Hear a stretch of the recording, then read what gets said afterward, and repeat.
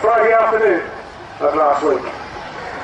And of course, it's almost a year since the Voyager was so named in a similar ceremony on the Friday before RIAT 2011. A very welcome appearance. I believe this aircraft is the fifth of these five prototypes. Ed Strongman and Anthony Flynn bringing it into land.